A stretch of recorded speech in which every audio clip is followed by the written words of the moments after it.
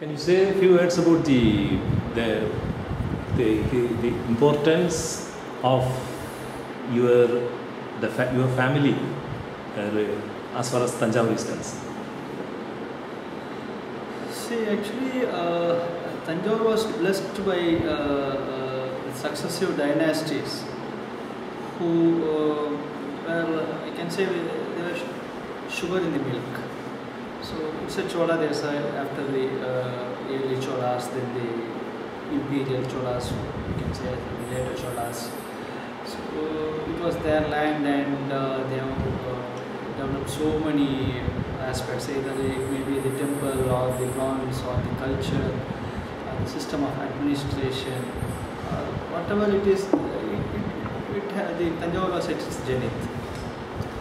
So, and after uh, the Cholas, uh, uh, it was the turn for the Nayakas and later uh, even briefly Pandyas were there. They also contributed something to the great temple and uh, it was followed by Nayakas and by Marathas. So each uh, dynasty had an opportunity to contribute something to the greatness of this temple, greatness of this land. So in that way, I am inheriting from the Maratha dynasty who ruled uh, uh, uh, at the last phase from 1676 onwards, and I am in the 13th generation uh, of the dynasty, and uh, a lot of social responsibility has been uh, devolved upon me, and by the divine uh, grace, I am trying to carry on it in uh, best possible way with the help of public and with the support of the government. So we are like a bridge between the public and the government.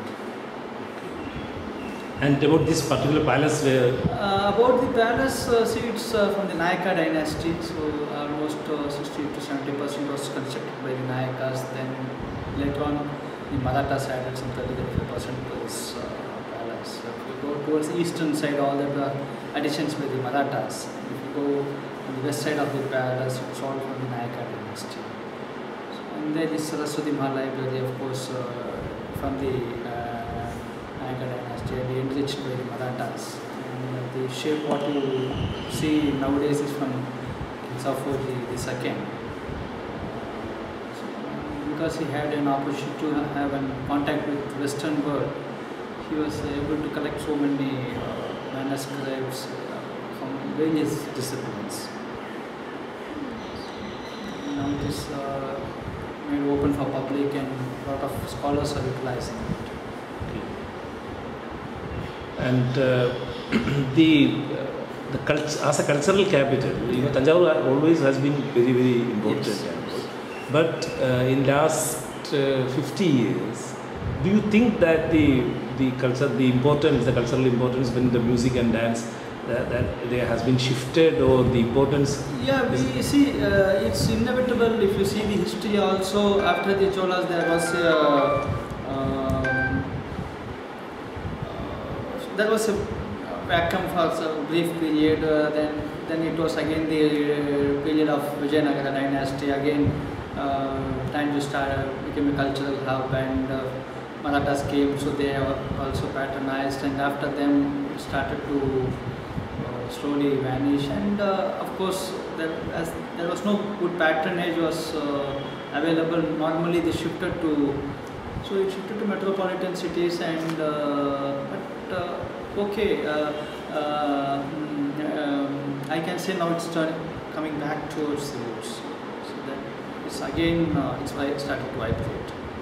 Um, a lot of uh, cultural activities are now happening in Tanjavur, thanks to South Cultural Center and other uh, like Brihan Natyanjali who celebrate the Shivaratri in big temple.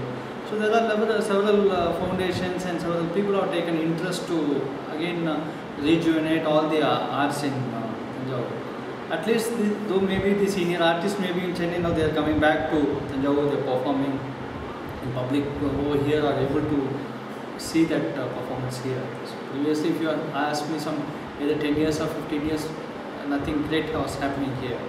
But now we see a positive trend. uh, and you uh, you represent the Maratha lineage. Yes. Uh, whether you talk Mara- Marathi now? Yeah, we speak Marathi, uh, but uh, mean that should be extremely localized uh, Marathi. So even uh, the people in Maharashtra will not understand what we are exactly speaking. Because we are born, brought up for almost 13 generations here. So we think uh, in Tamil and we speak in Marathi. So it's not that uh, uh, accept, uh, understandable in Maharashtra. We don't know to read and write and all this. You know, whether, whether you are, uh, at any stage you learn Marathi? No. Writing? No, I don't know read and write Marathi. As we went to the local schools, we were, we were totally surrounded. Uh, we were more well versed in the local language. Okay, Can you say these Marathi, the Marathi contribution to Tanjavur? See, uh, in, almost in all uh, uh, directions, the uh, Marathas were blessed to contribute. Either if it is uh, art and culture, say the Tanjore painting, or if it is the uh, Tanjore art plate, or the uh, dance, or if you see the renovations and embellishments of the Chola temples, or the construction of new temples, it all uh, happened during the Maratha period. So one way uh, I can say they, they had an uh, opportunity to uh, uh, foster the things what have already happened. Then Sampradaya was uh, uh, of the Maratha. So it, it came because there are almost now eight uh, mutts were being established during Samarth Ramdas Swami's period. So all the Maratha abhangs were happening here and bhajans were taking place. Now still five months are there, it's functional. So people gather at least during Ram Navami day, bhajans are happening. So it's, it's in Tamil we say Kutu Pratane and all, it's almost same. Okay, uh, uh, apart from your family, how many Marathi speaking families are there in Tanjavur? In Tanjore almost I think there must be uh, around uh, 8 to 9,000 families. 69,000 families. families. Around uh, some uh, 15 20,000 people must be here in Tanjore. Tanjore was the, one of the worst affected uh, uh, kingdom in the hands of British. So we lost the kingdom in 1855. The wardrobes being, uh, even the Janana was not spared. All the wardrobes were opened and uh, taken by the British. Armory was completely shifted from Tanjore. So they melted uh, the arms. So Tanjore was one of the worst affected uh, family of British. So even they uh, took over the temples and we had a uh, protracting legal battle. Then we got back the temples again. Uh, if you say uh, Vidishwara temple was used as a army barrack. So it was uh, during Serfoji's period the army was uh, moved out of the temple. Then purification happened. Then consecration took place. So this much, uh, and thankfully, some part of library has been saved and it is available to the public now. Otherwise, uh, huge collections are in uh, abroad than in Tanjore. Uh, see, uh, Tanjore family was a very orthodox family. Uh, they were very conservative. They were very orthodox. So uh, actually, of course, a lot of uh, reforms had been taken place. Even uh, if you say uh, in 1939 itself, my grandfather allowed temple entry to the Brihadishwara temple. So he allowed uh, Which year, which year? in, in 1939. So uh, temple entry was being admitted. So they were all very progressive on that angle. So they had a very broad mind and vision and all this thing. But uh, always they, they were very attached to the temples and its rituals. So that was the major cause. They never stepped out of the uh, temples and entered the common. Okay, in 1939, temple entry to the. All the temples in the, in the palace control. No, temple entry to who? But two Harijans. To Hari. It was uh, uh, prized by Mahatma Gandhi. Also, it was a voluntary act. And uh, uh, uh, apart from Bradeshwara, which are, which are which are the other temples who are coming under? Yeah, there are around 88 temples under the Palace Devasthana. And uh, basically, Maratha, whether you have these Vaishnavite, Shaivite. Uh, no, we, have, we are basically Saivites, but uh, uh, we are uh, open for uh, because yeah, even after marriage we go to uh, Vishnu temple and Shiva temple. Even in our home we have both. It was not a at all. The, the dynasty has been very closely associated as patrons of music and dance.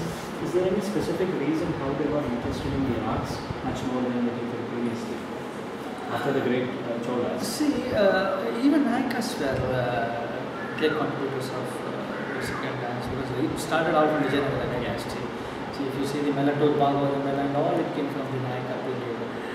Uh, basically, the Marathas are warriors. So, if you take the history of the Tanjore Marathas, it is totally Different. a different version. Uh, maybe peace prevailed in this uh, land or the flavor of the soil could have been another reason. So, uh, almost the, the, the, uh, Shahaji had composed many uh, songs on uh, Tyagaraja of Tiruvarur. So here once they came, they adopted uh, Tyagaraja as a tutelary deity. Still, uh, if you go to the Maratha Darbar, above the throne you will see Tyagaraja's uh, image. So all my uh, ancestors will be flanking on the other side of Tyagaraja Will be. So, uh, Tyagaraja was uh, prominent uh, deity in our family. Uh, so he has composed songs, even there are songs composed on Swami, uh, Swami. and like that, uh, I don't know what made, but see, there are history, even uh, the first king, when uh, Venkoji, he turned as a yogi in his last days. Hmm.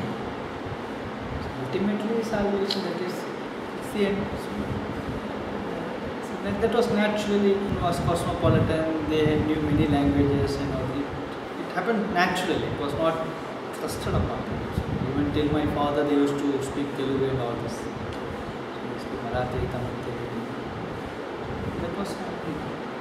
This is cosmopolitanism you mentioned. Yeah, Could cosmopolitan. elaborate on that? Uh, see, uh, cosmopolitans means they uh, they respected other language. They started to learn other language there. And uh, uh, uh, if you see, uh, the cosmopolitan is not modern cosmopolitan. I can say they were very broad-minded. See, even in our home, we have the uh, hat-ons in Palani. So we go there with, with the kavadi, which maybe not in Maharashtrian tradition. So we celebrate uh, that is called uh, Ashara and it is Sawan Mena, it's a fasting month. But here we do Mahargali. The royal families of the north, because of the British uh, the affiliation and all, you know, they used to travel a lot to the west, and you know, It- they it had. Never, it never happened in uh, because we were all meeting them in the courts, and our lawyer used to travel to London to fight a case against the British. so they had a very long battle on getting back the temples and all those things. So it, the, the case started in 1855 and it went up to 1939 when the Privy Council declared that the annexure was illegal.